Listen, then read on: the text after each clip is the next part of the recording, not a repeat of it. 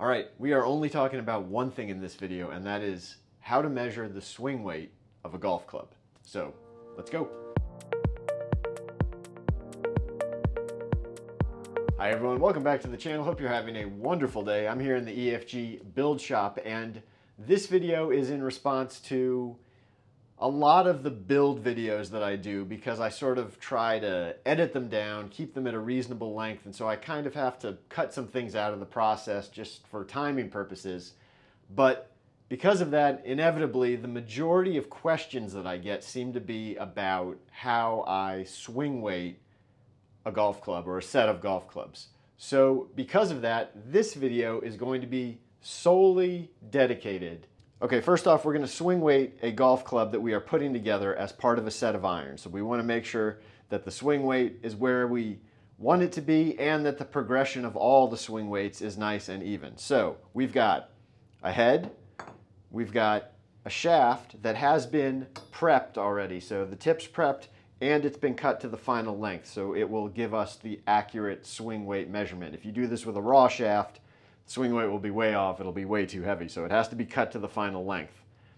And finally, we've got the grip that we're going to use. Remember, different grip weights will change the swing weight. So you want to either use the exact grip that you're going to be using or use a standing grip that is the same weight as what you're going to be using. Okay, two ways to dry fit a golf club for swing weight. And I've shown both of these methods before. The first one involves, let's say you have a 50 gram grip that you're going to use. Well, I have, that I keep here, a grip that has already been cut off of a club. Same grip as what I'm going to be using. More importantly, it's the same weight. Both of these are 50 grams. So I can use this grip and wrap it over the shaft to get my swing weight. If you're going to use this method, what can happen if you just put this grip directly over the shaft? This shaft, the very tip of it, is very sharp, right? Where you cut it and it's just the metal sitting there. And what can happen over time, if you put this on just like this and slide the shaft up to the end of the grip, the shaft will start cutting into the grip and actually start cutting deeper and deeper. And if you do this more and more times, all of a sudden this grip is going to keep sliding down further than it should naturally sit if it's a new grip because it's slowly being cut by the shaft. So if you're going to use this method with a split grip, what you want to do is get a little piece of masking tape, put it over the top, over the end of the shaft, just like that. And now we're going to wrap that grip over the end of it. And the masking tape completely covering the end will keep it from sliding too far on in case it's already been cut or if it hasn't been cut, it'll keep it from getting cut. So at this point, we've got this on, we've got it slid all the way to the end of the grip. We'll slide the head onto the shaft. Make sure you're always supporting the head because if we haven't glued it on, we don't want it to fall off onto the ground. And now we'll set it up in the scale, resting just like this. Make sure the back butt end of the grip is all the way to the end of this stop. And now we're just going to adjust it till we get our swing weight so that we zero out right here on this pointer or come close to zeroing out. So basically this combination right now is at C, call it C8.5, C8 and a half. Now if you don't have a split grip like this, or maybe you're using a grip that's a different weight, maybe you're using a mid-size or something that's a heavier grip, and so you don't have a split grip that you can use as a stand-in, well then in that case, we can do the other method that I use, which is just taking the actual grip we're going to be using, or one of the actual grips, and putting a rubber band around it to hold it onto the end of the shaft. Now when we do this, important point, make sure that the grip is sticking out past the end of the shaft to mirror how it will actually be when you install it because when you install the shaft inside the grip it doesn't go all the way to the end remember? It has a little bit of just solid rubber here so it stays a little short like that about a quarter inch okay? At this point we do the same thing. We take the head again remember to support the head so it doesn't fall off on the ground. We're going to put it into the scale again. Now the only difference this time, whereas the first time we put the shaft in and the butt end of the grip sat all the way against this back stop. Here, because we don't have the grip on the shaft, we want to sort of mimic that. So see right there, we have a little space, basically about a quarter of an inch space between the end of the shaft and the back stop of the scale. So there's a quarter inch space there, but the end of the grip on top here is even with that backstop. And that way it sort of mirrors what you're getting when you actually install the grip. Now at this point we'll go ahead, see what we get here. As you can see, it changes it just a little bit, makes it about, in this case, it's about a half point lighter. When we do it this way here, now we get a swing weight of about C point, excuse me, C8 as opposed to C8.5. So yes, in this case, we do see a very slight change, half a swing weight point between using the split grip method and using just a rubber banded grip method. But again, if you're using a heavier grip and you don't have a split grip, well, this is gonna be the next best option to still give you a very close result.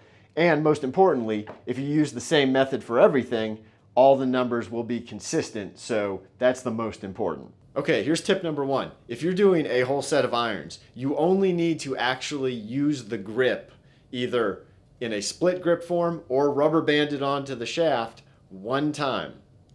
That's all we need because at that point, we can streamline the process, we can speed everything up. Let me show you what we're gonna do. So now that we know that the full dry weighted swing weight is C8.5, for the sake of speed, so we don't have to keep going through this process of attaching the grip and taking it off again, we can do a separate swing weight measurement, same club, just with the head and the shaft. And in this case, we're just gonna go ahead, put the shaft in the swing weight scale with the head on it, and just extend the shaft all the way so it sits up against the back of the swing weight scale. Obviously, we have a lot less weight on this side now, so the swing weight's going to be much heavier. So here we can see without any grip, our swing weight comes out to D7.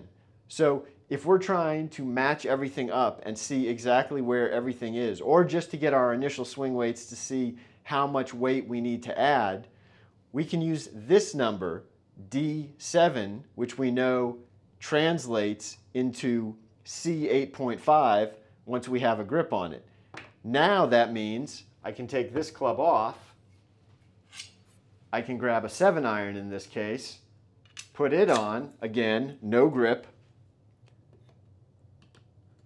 up against the backstop of the scale, and measure it, again with no grip, and see, in this case, this one looks just a little bit heavier. We'll call that about, about D 7.5. So now we know if this is D7.5 without a grip, we look back at what we just did and we can say that with a grip, this is going to come out to C9 basically.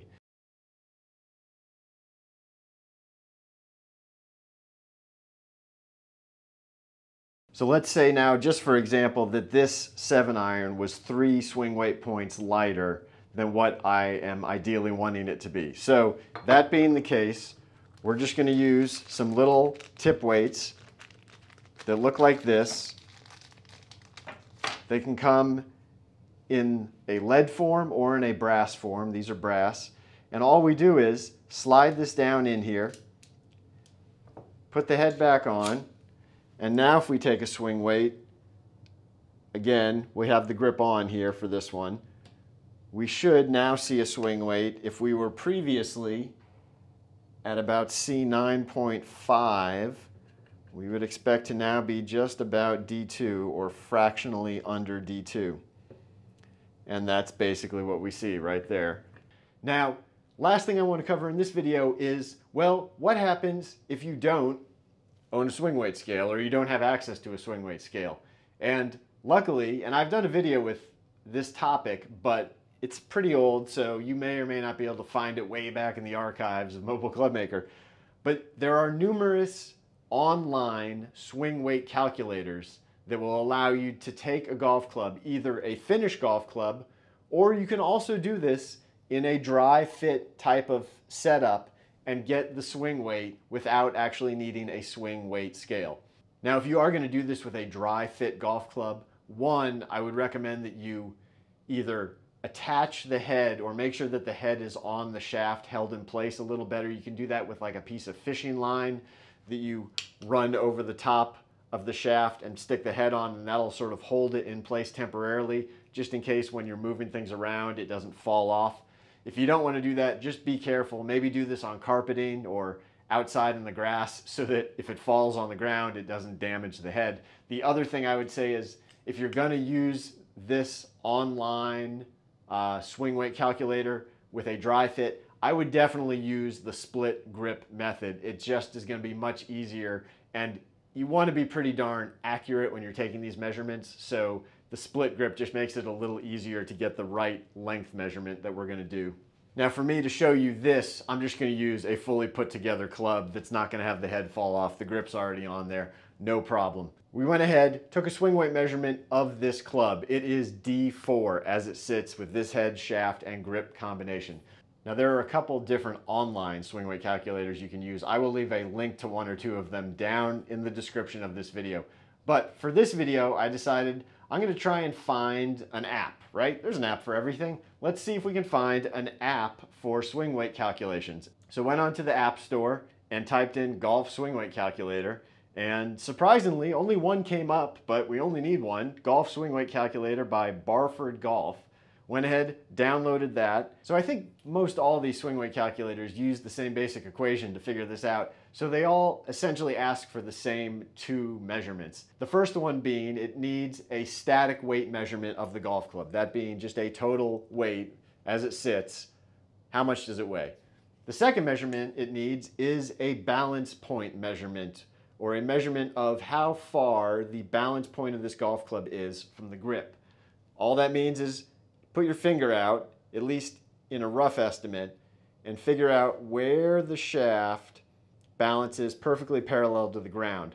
Now, I will just tell you, with any of these online, any of these app swing weight calculators, you want to be extremely accurate with where that balance point is. What I found works well is I've got this little three-sided file and I use that to actually put rest the golf club on and find the balance point exactly where it sits.